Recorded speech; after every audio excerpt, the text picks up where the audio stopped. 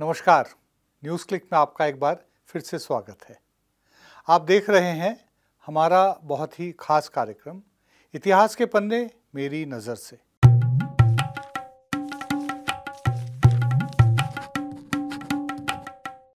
आपको याद होगा, इसी साल 28 मई को प्रधानमंत्री नरेंद्र मोदी ने बड़ी धूमधाम के साथ भारत के नए संसद भवन का उद्घाटन किया था।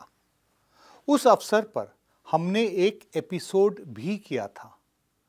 आप जानते हैं कि मोदी भाजपा के नेता और प्रधानमंत्री होने के साथ साथ सबसे पहले राष्ट्रीय स्वयंसेवक संघ के एक वफादार प्रचारक भी हैं। और आप निश्चित रूप से इस तथ्य से भी अवगत होंगे कि राष्ट्रीय स्वयंसेवक संघ की स्थापना डॉक्टर केशव बलिराम हेडगेवार ने विनायक दामोदर सावरकर की एक छोटी पुस्तिका से प्रेरित होकर की थी, जिसका पहला शीर्षक था एसेंशियल्स ऑफ़ हिंदुत्व। 28 मई सावरकर की जयंती भी है। उनका जन्म उसी दिन 1883 1883 में हुआ था।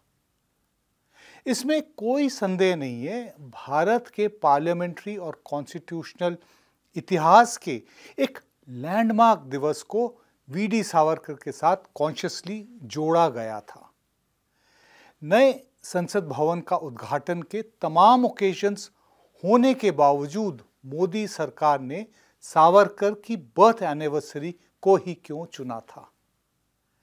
ये सरकार सावरकर के प्रति इतनी आकर्षित क्यों है? मोदी दरअसल अपने पॉलिटिक्स को स्ट्रेंथन करने के लिए सावरकर को एक सिंबल के तौर पर यूज़ करते हैं।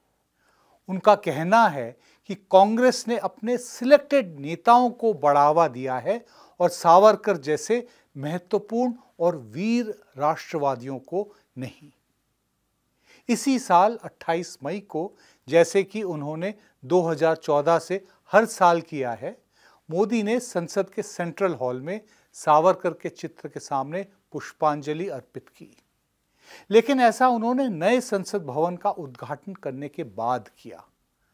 हालाँकि मोदी ने अपने रेडियो कार्यक्रम मन की बात के हंड्रेड एंड फ़र्स्ट एपिसोड में सावरकर का उल्लेख किया था, लेकिन उन्होंने नए संसद भवन में अपने भाषण में ऐसा नहीं किया।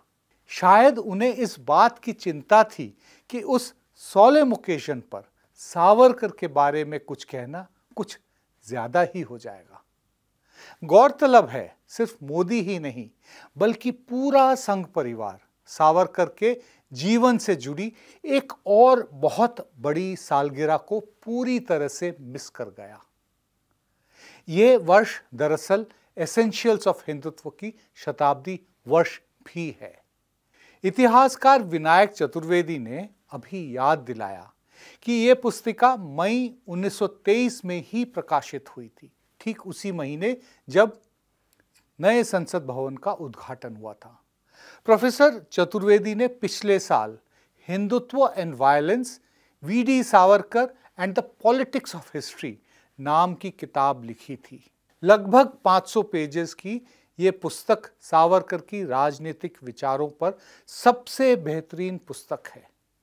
जून के अंतिम सप्ताह में द हिंदू अखबार में एक लेख में Chaturvedi ne likha in the recent hullabaloo about the opening of the new parliament building on V.D. Savarkar's 140th birthday on May 28, another anniversary went unnoticed.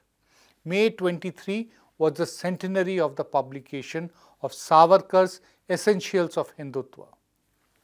The foundational text was forgotten by Hindutvavadis. This should not come as a surprise to anyone who follows contemporary politics in India. For Hindutvavadis, the idea of reclaiming Savarkar as a hero is more important than any of his writings.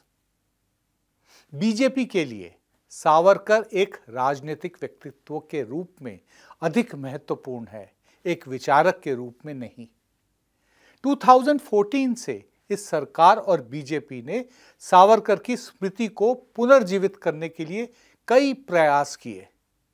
इसमें सफलता भी मिली है।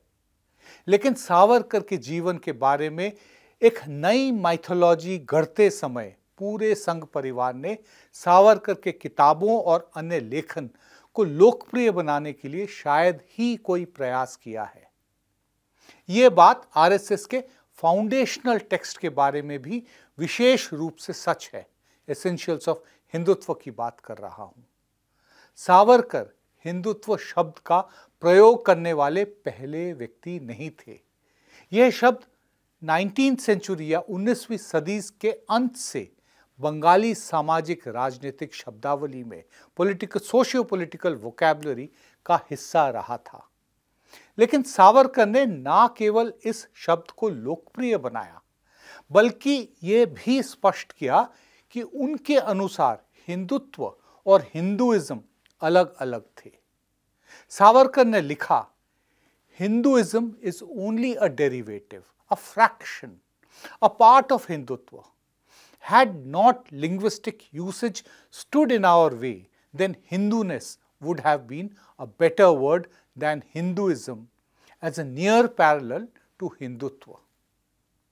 संघ परिवार द्वारा आम लोगों को इस थियोरिटिकल पुस्तिका को समझाने की कोशिश नहीं करने का एक कारण ये है कि सावरकर को भी हिंदुत्व क्या है उसके मूल पर बहुत कम क्लैरिटी थी उन्होंने लिखा the ideas and ideals the systems and societies the thoughts and sentiments which have centered round this name are so varied and rich, so powerful and so subtle, so elusive and yet so varied that the term Hindutva defies all attempts at analysis.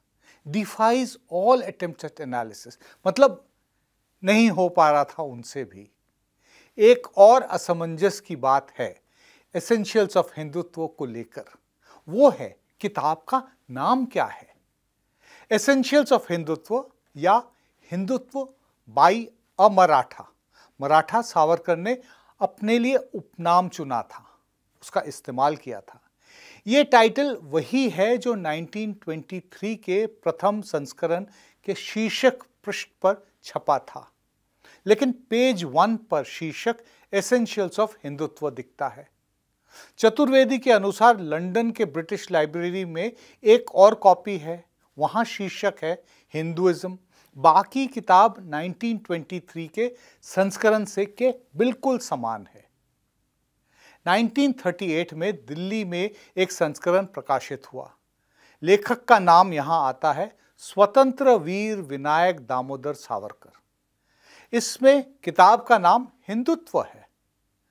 अगले दाई ओर के page पर who is a Hindu छपा है। भाई परमानंद इस संस्करण की forward लिखते हैं और वे पुस्तक को हिंदुत्व के रूप में एड्रेस करते हैं। एसेंशियल्स ऑफ़ हिंदुत्व नहीं कहते हैं और ना ही हु इज़ अ हिंदू 1949 तक जब पुस्तक का चौथा संस्करण प्रकाशित हुआ, शीर्षक में और परिवर्तन हुए।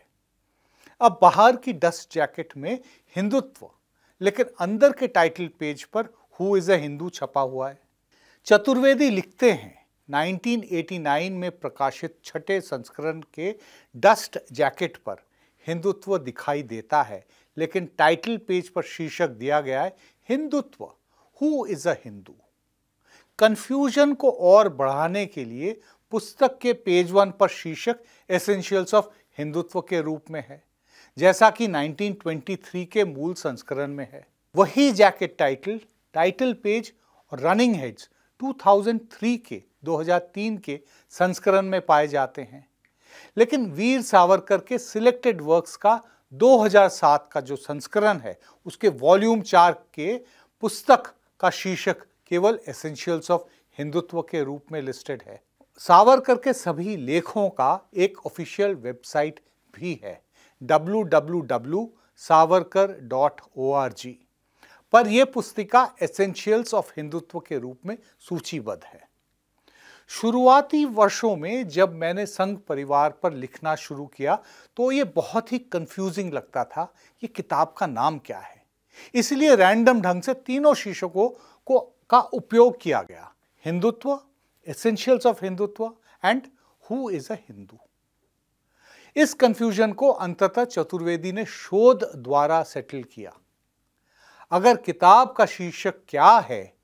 हमारे पास इतने प्रश्न हैं उसको लेकर। तो किताब के केंद्रीय विचार कितने जटिल होंगे? आप सोच सकते हैं। इसका अंदाज़ा आप बिल्कुल लगा सके होंगे।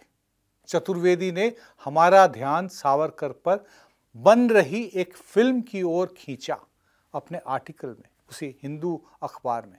स्वतंत्र वीर सावरकर इस फ़िल्म का नाम है और इसका निर्देशन संदीप सिंह कर रहे हैं। पिछले साल फ़िल्म का एक पोस्टर रिलीज़ किया गया था। पोस्टर में सावरकर द्वारा दी गई हिंदुत्व की परिभाषा को बदल दिया गया है। लेकिन क्योंकि इस फ़िल्म को उन लोगों से मंजूरी मिल गई है जो मायने रखते हैं इसे विरोध का सामना नहीं करना पड़ेगा। हिंदुत्व समर्थक सावरकर के तर्कों को नहीं जानकर भी अपनी राजनीति को और आगे बढ़ा सकते हैं। लेकिन जो लोग सावरकर और उनके समर्थकों के विचार का मुकाबला करना चाहते हैं, उनके लिए सावरकर को पढ़ना और समझना अनिवार्य है। यदि आप शुरू करना चाहते हैं तो एसेंशियल्स ऑफ़ हिंदुत्व से बेहतर और क्या हो सकता है? सेंटिनरी ईयर में, वो भी। नमस्कार।